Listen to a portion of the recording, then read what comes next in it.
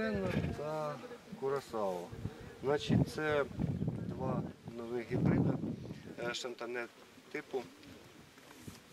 Е, Значить, з вегетаційним періодом е, Курасао близько 105 днів, Касина близько 110-120 днів. Підходять для мийки, поліровки.